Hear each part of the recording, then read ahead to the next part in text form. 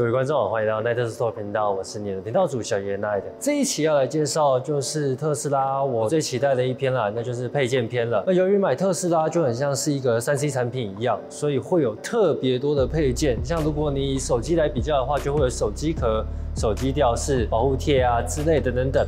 那换成特斯拉其实也是一样，因为特斯拉就是一个大型的三 C 产品，所以其实它在周边上有非常多的厂商都有出一些热门的配件。那这一次也很感谢 Jowa 的赞助，Jowa 是一间专门在做电动车的配件的厂商。那它不管是从充电的转接头到置物盒，或者是说手机的配件，其实它都有。那它比较针对就是有特斯拉的，所以其实我在当初找配件的时候，我就一直常看到他们的网站。所以我这一次除了会介绍他们赞助的以外，我还会介绍一些我从某宝买回来的东西，这我觉得是在特斯拉上是非常的值得去购买的。那一样废话不多说，我们现在就进去车内看看吧。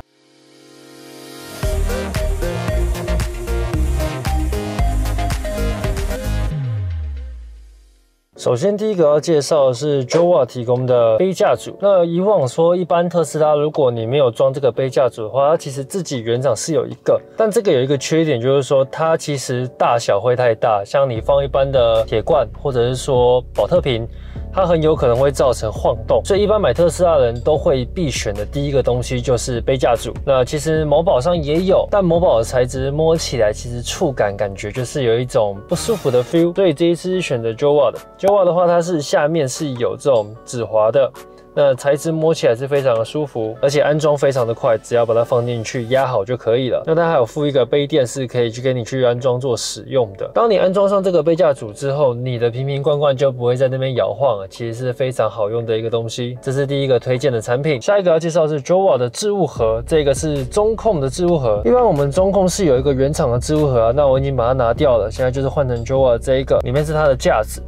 那安装方法其实也非常简单，就是只要很简单的把它放进去里面，放好就可以了。那也不会挡到点烟器的位置。加上这一款是有做隔间的，所以你要放东西的时候就会比较好放一些。原厂购买的话，它还有一个是灯，这个灯是做感应式的，把它放进去里面之后，当你把中控台关起来之后，它会自己熄灭。那帮你打开要找东西的时候，它会自己点亮。这样就不怕在黑夜中你要找东西的时候会找不到了。那像我平常就是会把我的转接器放里面，那像是我的什么眼药水啊放里面，或者是充电线，我就把它放里面，就是一个方便为主的。下一个也是 Jowa 产品，那它也是置物盒，但它是在前面置物箱的。那像我们这种老款的，我们这种老款的特斯拉，它是用翻盖的，新款的是用推的嘛。那其实它新款旧款都有出，像我们这种翻盖的，一般是里面是没办法放东西的，所以东西都直接丢去，像我的钱包现在就丢在里面。那如果你多了一个这个置物盒之后，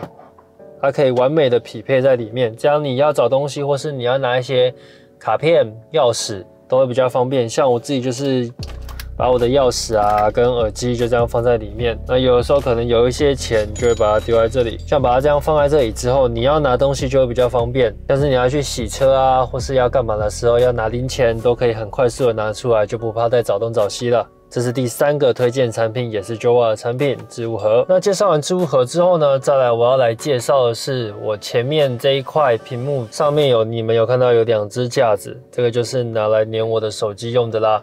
这个就是我从某宝买回来的，后面其实是套上去的，它是直接套在你的荧幕上面，所以很坚固。后面还有附一个这个置物盒，我通常是拿来放我的眼镜用的，因为其实你出门。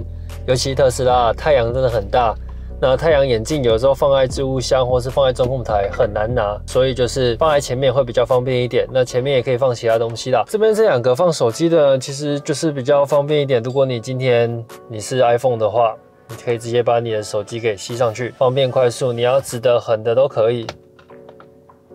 就像这个样子，那另外一边就是给我副驾用的啦。副驾也是用 iPhone 的话，也就可以马上直接连上去，要拿来看电视啊，要干嘛都可以。那有的时候我自己拍片的时候，我想要拍片，我也会把它连在这里，然后开录影，这样对着我自己，就等于说帮自己多了一个无形的支架。那既然讨论到支架的话，就问它有没有出支架呢？其实它有。那它有没有赞助我呢？其实也有。可是支架在哪里呢？现在马上来给你们看一下。首先呢，要先把你的模式调成睡觉，对我其实有帮自己设定了一个睡觉模式，这个睡觉模式干嘛用的？可以让你的方向盘拉到最上面，座椅垫直接降到最下面，最舒服。那刚刚说的支架呢，其实就在这里。有看到吗？那这个地方是干嘛用的呢？如果你在睡觉的时候，其实你也会想要看影片嘛，这时候你就可以把你的手机给吸上来。我不确定这样你们看不看得清楚，但我平常睡觉的时候真想看影片是这样看的。那你说会不会掉下来砸死自己呢？其实它粘得非常紧。我说真的，它那个粘度真的非常够，要掉下来的几率几乎是零啊。像我平常就会这样子拿来。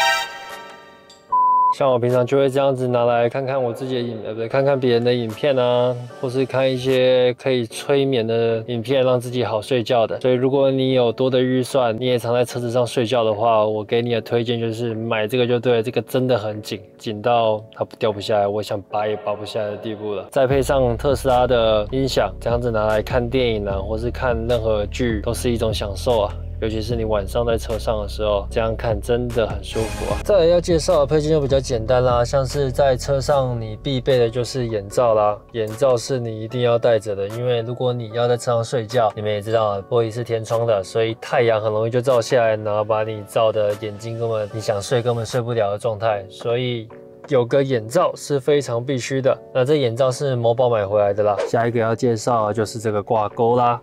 这是在手套箱上的挂钩，因为像我们特斯拉的手套箱嘛，是基本上如果你没有声控，它是打不开的，所以它一般是盖很紧的。所以在这种情况下，像我这边有一袋柠檬，哎，有够重的柠檬。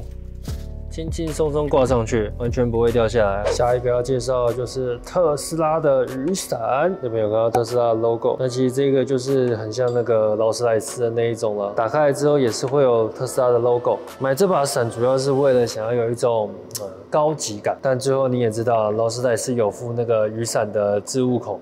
但特斯拉没有，所以最后就是被我放在后车厢了。那既然打开后车厢之后，对，有点乱。你们会发现有一个东西也是 Jova 的，这一台东西是我最后可能要在下一集才会来介绍的。我想去做一个对比，这是 Jova 为特斯拉专门出的滑板车。